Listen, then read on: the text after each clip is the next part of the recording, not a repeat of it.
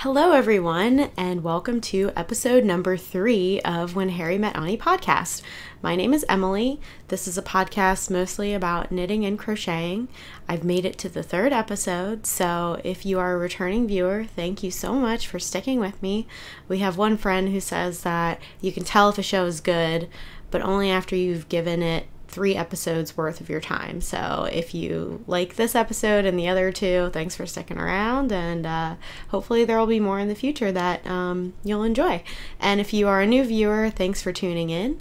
Um, as I said, my name is Emily.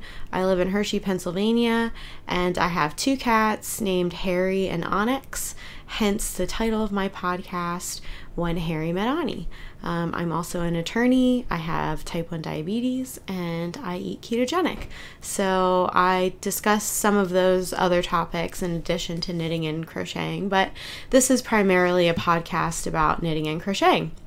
Uh, if you'd like to find me on Ravelry, my handle there is Emmeister. That's E M M E I S T E R. And find me on Instagram at When Harry Met Onnie. Onnie is spelled O N N I E. Uh, and if you like my podcast, please subscribe to my YouTube channel. Uh, thank you for those that have. And without further ado, um, I'm going to get into From the Vault. So, this week I have to share with you a crochet project. I made this uh, keyboard cozy for my fiance Logan.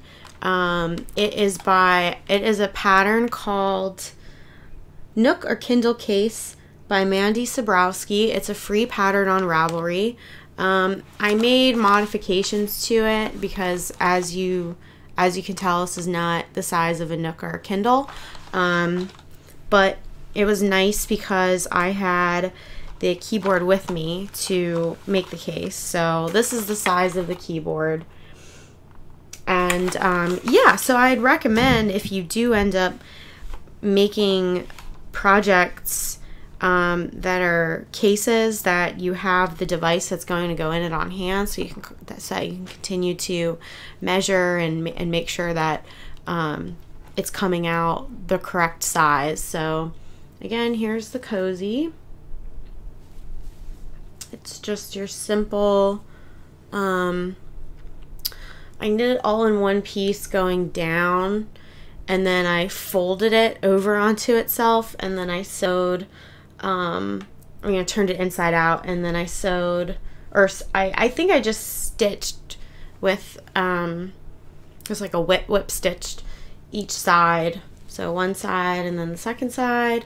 And then um, I was looking at my project notes on Ravelry and I added two buttons that you'll see that on the pattern. And then I made these buttonholes. Um, and to do this to do the buttonholes I chain three and then skip three stitches. And that made a nice sized buttonhole for my cozy. Um, and I made this from some scrap yarn that Logan picked out. It was Red Heart Super Saver Multis slash prints. And the color is 992 Shaded Browns. Um, and I used one and a half skeins of it. Now it came out really nice. It's a little stretched out from having a keyboard in it. Um, but yeah, I really like this one. And um, good for Kindles, keyboards. I'm sure you can make a laptop case out of this. Um, it'd be a nice gift. Um, so made that made this probably I have to check Ravelry, but I want to say maybe like three three years ago. Uh, so yeah, from the vault. So I don't have any finished objects this week. I'm a little disappointed because I had two days off of work, not including July 4th. And I really wanted to finish my crochet Hobbs project for my friend uh, who I made Hobbs for her wedding, and by the time she gets it, it'll be almost her one year wedding anniversary. Uh, but I did not finish hobs, and I also really, really was working hard on my Elfreth's Alley cowl and had hoped to finish and block that, but that also did not happen. But the good news is is that I have a new cast on and I was able to work quite a bit on all three of the works in progress I have. So I'll just jump into works in progress and show you the status of all of the projects that I have. So I'll start with the new cast on. Um, I cast on a pair of Hermione's Everyday Socks. I've never knit this pattern before, this is actually the second sock ever I've made. I showed my first pair of socks on episode number one, Finished Objects, so check that out if you haven't already. Um, but I, I know this is an extremely popular sock pattern on Ravelry. It's free. It is by Erica Lueder and uh, tons and tons of projects, probably like over 5,000 projects from this um, pattern. The yarn is Zen Yarn Garden in their Serenity 20. The colorway is Love Hurts. Um, really nice. I mean, you know, I think maybe this pattern would have would look best with a solid with a solid color. However, I just fell in love with the with the uh, with the yarn and wanted to make this pattern. So, you know, right yarn, right pattern. I am doing it on double pointed needles. And if you watched episode two, um, I had talked about my disaster with the loops and threads steel needles that were like nine inches long. So I ordered, I think you pronounce it ChiaoGoo. I said ChiaoGoo. I don't know. ChiaoGoo. That sounds more um, that sounds better. So I had ordered ChiaoGoo. I think they're one and a half size, whatever the pattern calls for, I'm using. Um, and they arrived, and then I immediately cast these on once I got them in the mail.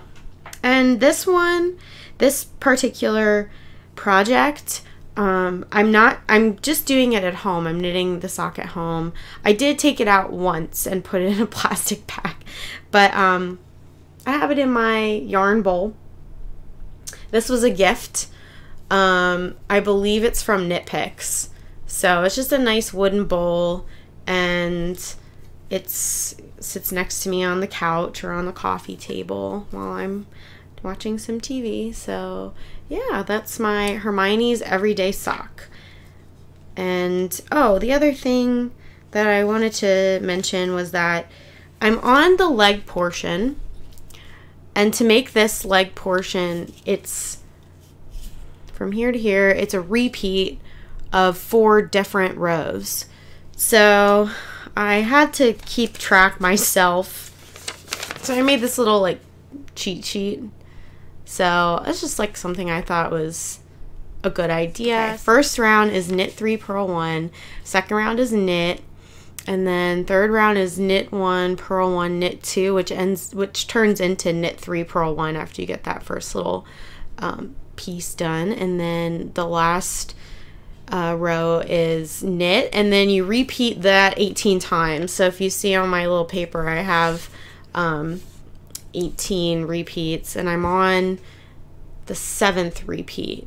So I have I'm roughly a third of the way done with the leg so I'll be anxious to see how that all turns out.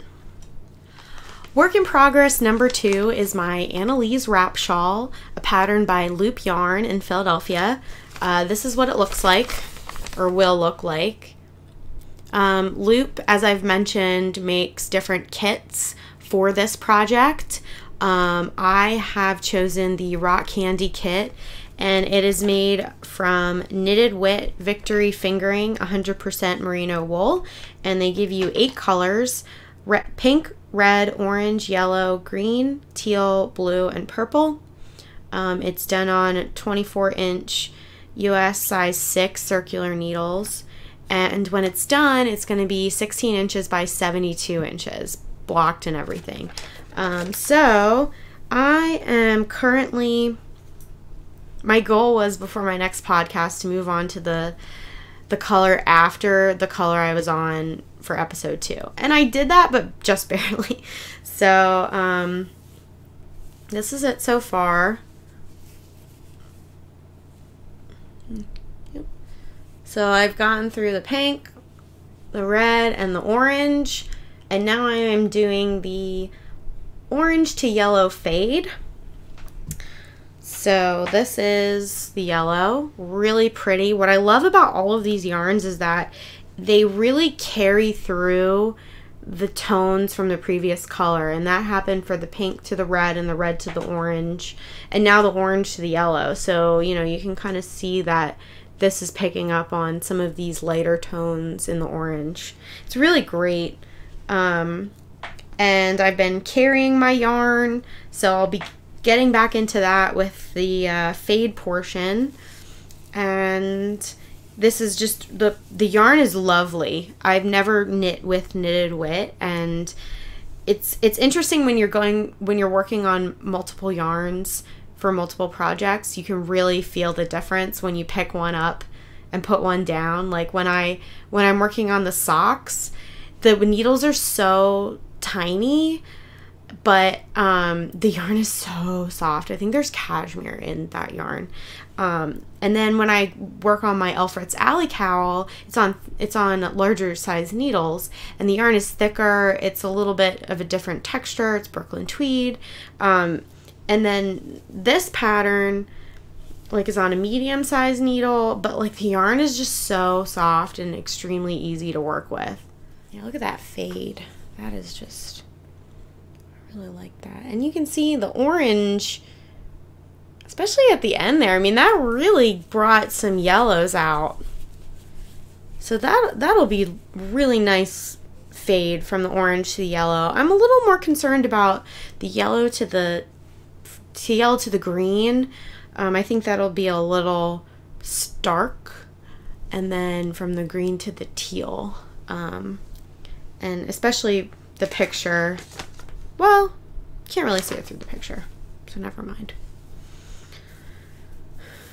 So that is my Annalise wrap shawl. And Loop had other kits available, not just this rock candy kit.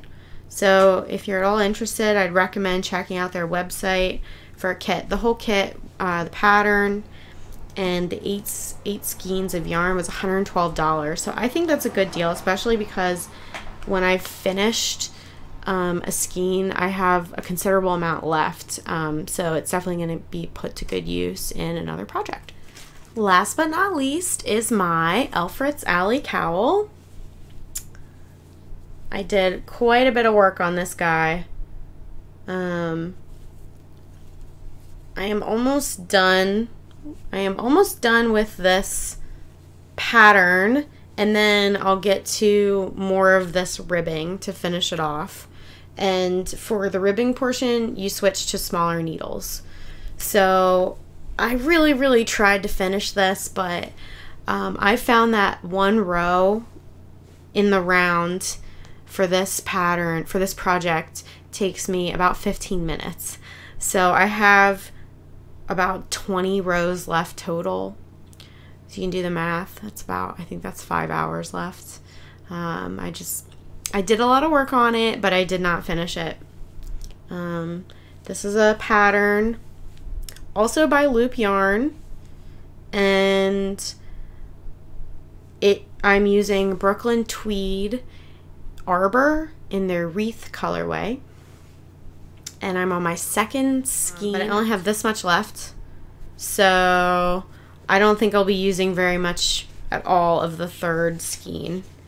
This yarn is DK weight and it is 100% American Targhee wool.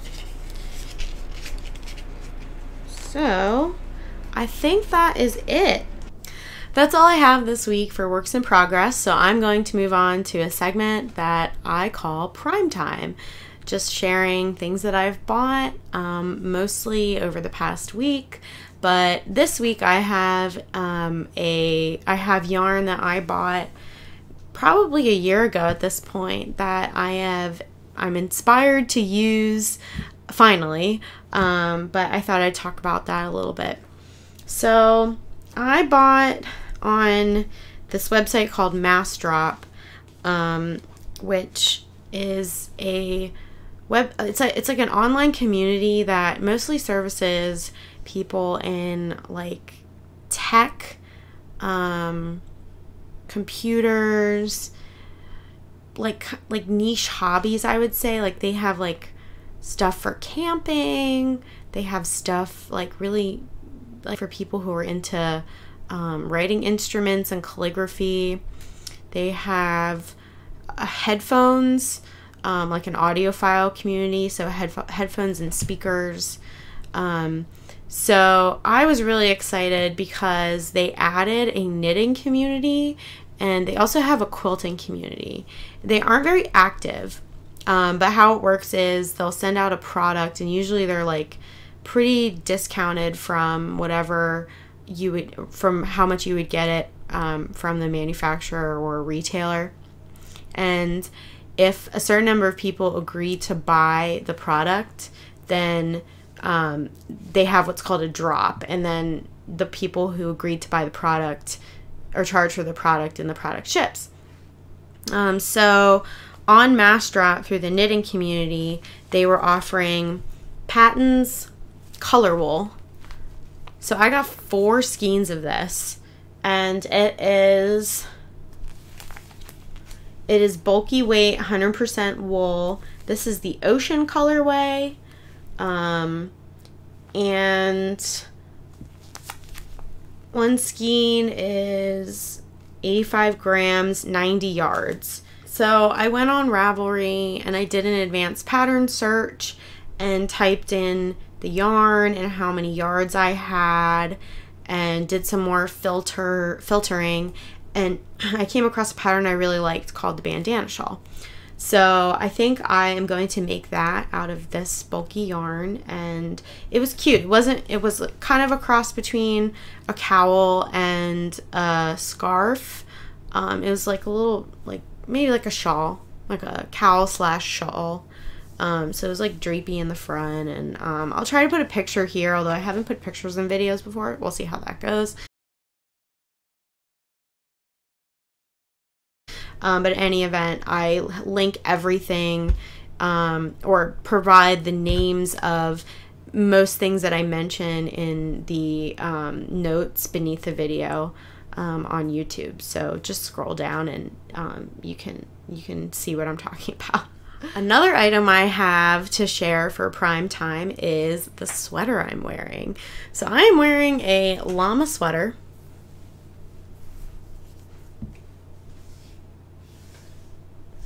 I spotted this baby at Ann Taylor and it was $20 and I knew I needed to have it. I don't really know what else there is to say about this sweater other than it has llamas all over it. I think that is probably enough. So moving on. um, I have one more item um, and I bought two sets of Shiagu um, size, I think they're size 1.5 knitting needles double pointed knitting needles to knit socks. And I have been knitting my Hermione's Everyday Sock with these, and I really, really like them.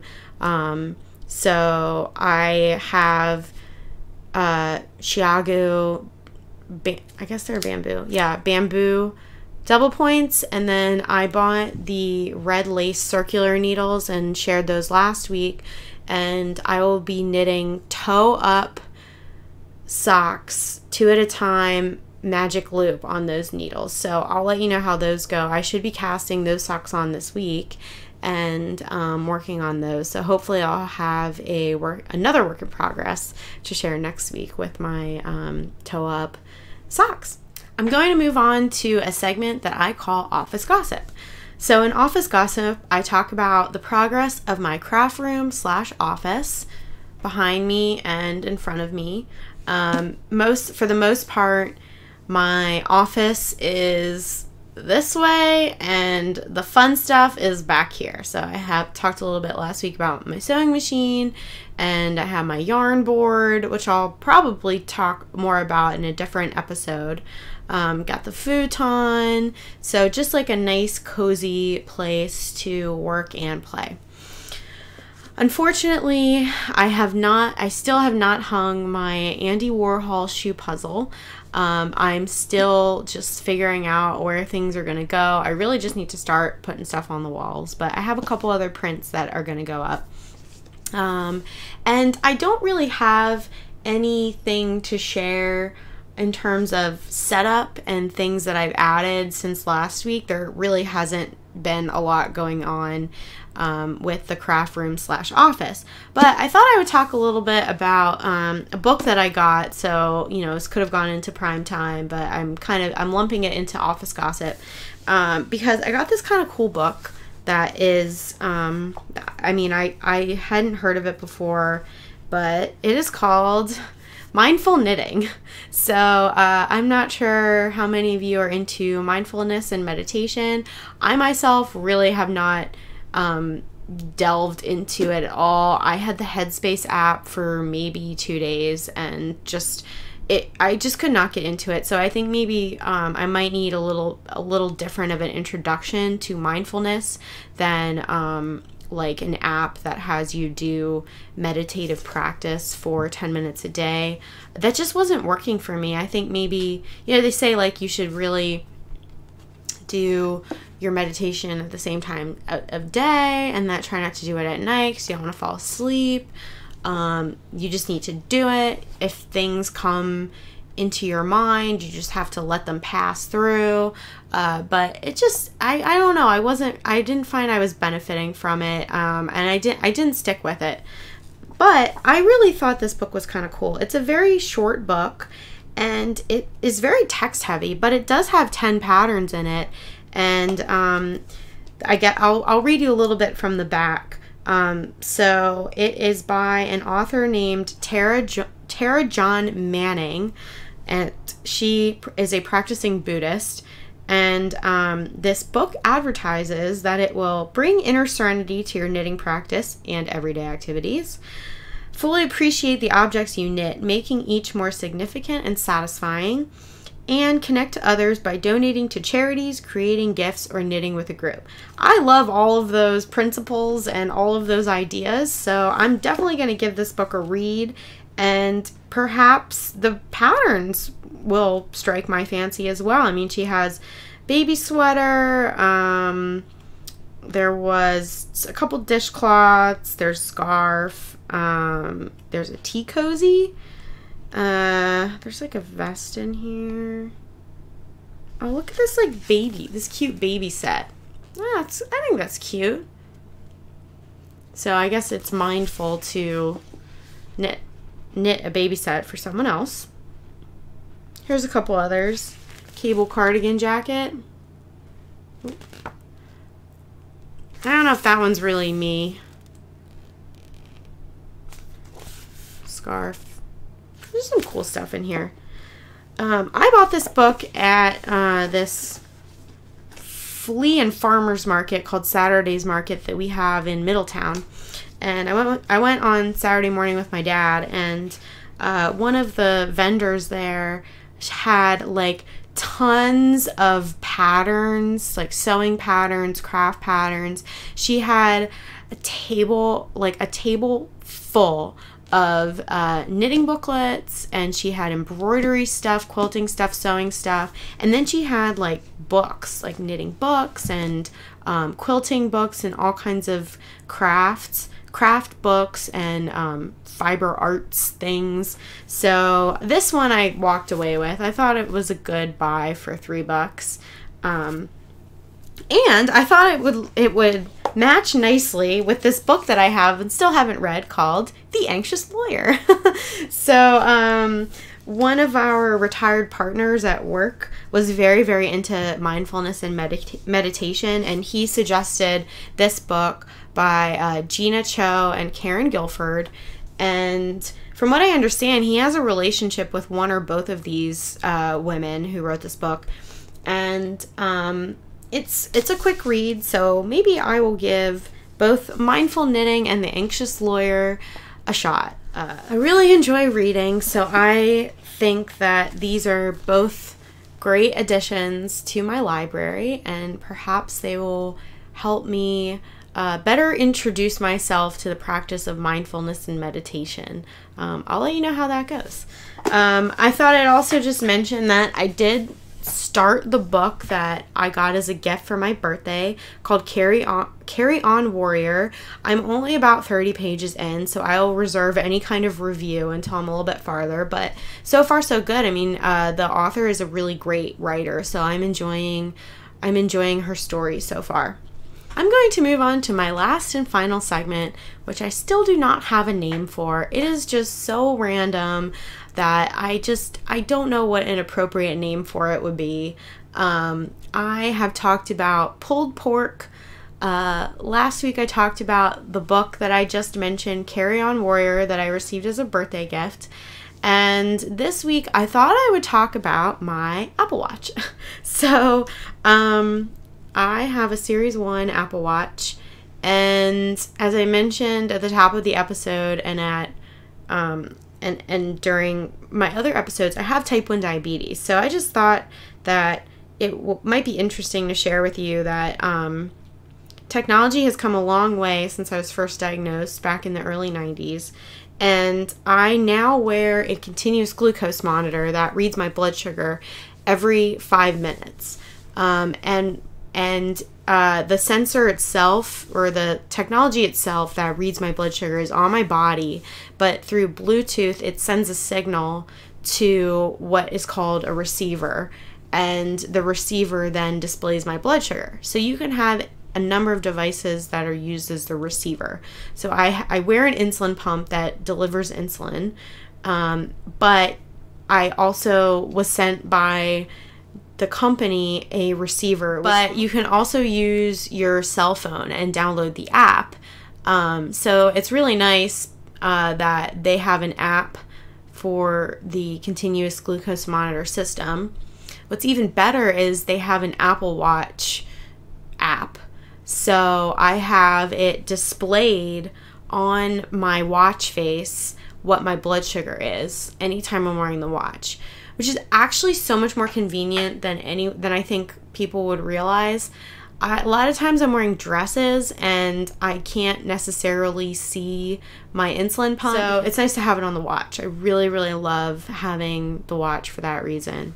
Um, another really nice thing about the watch is the um, exercise if you're if you do any kind of exercise it really motivates you um, you have these like activity rings that you set goal that you can set goals for yourself um, for how many hours a day you want to stand, how many uh, minutes of exercise you want to do, and how many calories you want to burn.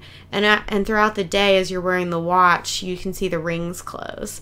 So it's it's a really great um, like check for yourself. Um, and there's other things that I find helpful, like like it reminds you to stand if you're if you've been sitting for a long time and um, you haven't stood in that in the last hour. Uh, so the watch will just kind of will buzz and just say, you know, take a stand break, stand up, move around a little bit. And the other thing that I like is um, related to activity, but uh, it is really great for tracking exercise. So today I went, I haven't gone on a run in a really long time, but I went for a run and I wore my watch. I had my Bluetooth headset. I carried my phone with me, um, but I was tracking my activity all on the watch through the watches app. And you can um, like just kind of press a couple things and just say, okay, I'm gonna go exercise. I'm doing an outdoor run and I'm just going to do it in open mode so it's just it, it's not going to stop me after a certain uh, mileage or a certain number of minutes I've been exercised. I'm just going to go and stop it when I want to. Um, so those are a couple of the features that I really like having on the Apple Watch. Other than that, I was I was really kind of hesitant about getting an Apple Watch uh, just because like I'm already so connected via devices. I'm I'm all, I always have my phone on me.